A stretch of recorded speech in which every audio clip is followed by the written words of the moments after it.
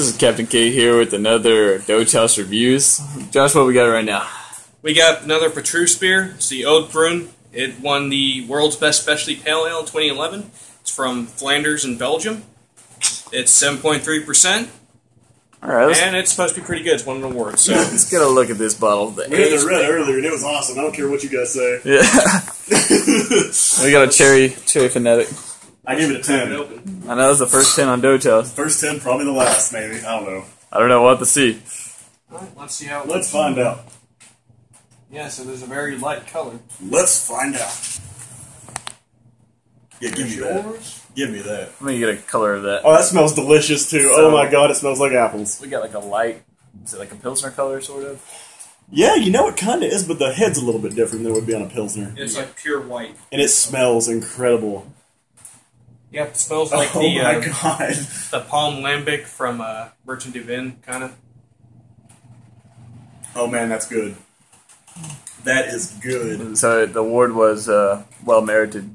Yes, it's somewhere between a Flemish sour yet again and a Lambic. Apple to start with, and a really really tart apple finish. Almost like to a it. lemon. Like a lemon, like citrus. Like apple and citrus is what I'm getting here. Apple and And you citrus. can very very smell tart, very tart. Um, I'd say it tastes a lot like if you mix like a apple lambic with a mer- with a, uh Duchesse de Bourgogne. It Kind kind of of. reminds me of cider almost. There's that going on too. I love the it. apple flavoring. I love this. This is very good. This brewer has never ceased to impress me. So the uh, Belgians, the Belgians, they're doing pretty good over there. They're, they have the most complex beers I've ever had. Okay, well let, let's have Jard try it and have Drew try it. Yeah, yeah. yeah let, let's try it. Try, try it first. Is it? It, just smell it first and let me know if you want to try that or not.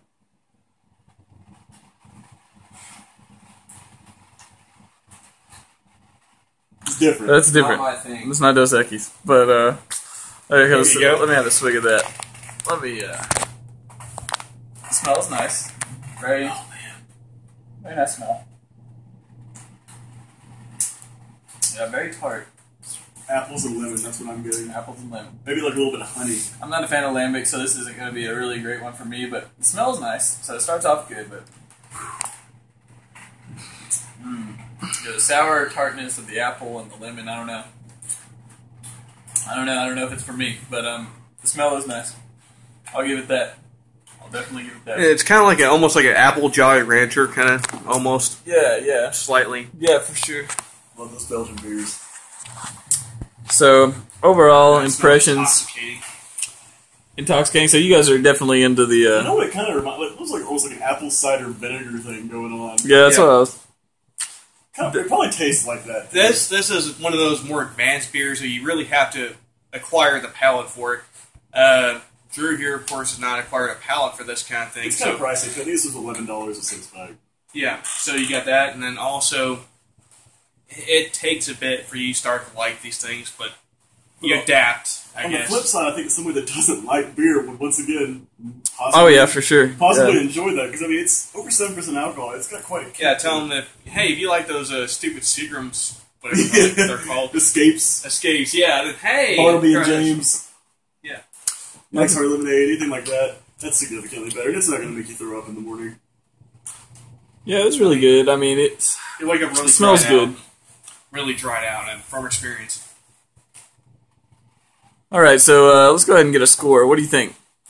That's another ten for me. Another ten. Oh Another goodness. Oh goodness. Nine and a half tastes like Duchesse de Bourgogne. That's good in my book. Dude, that's delicious. Don't look at me like that. For for me, You it's just haven't adapted yet. You gotta ap- you gotta adapt and overcome. okay. Well, Jar, what do you give that one? What, what's your score on that one?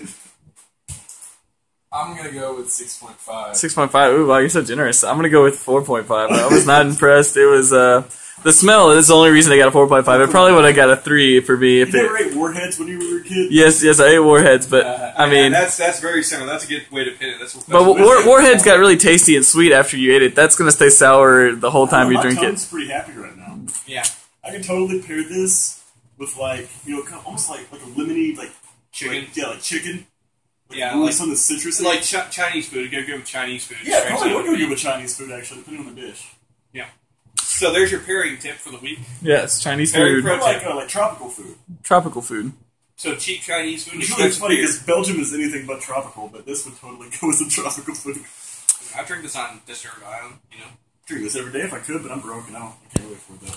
Well, that was a very interesting review, and uh, I guess we'll come back. Was, I guess it was a little bit more spread. So we got what a ten and a, was yeah, it both the highest and the lowest. lowest? yeah, yeah, that was very decisive. Yeah, but I think these uh, lambics are going to be really decisive. You know, so I mean, some people like them, some people don't, and uh, that's just how it's going to be. But anyways, that's another Doge House reviews, guys. Uh, check back in for more.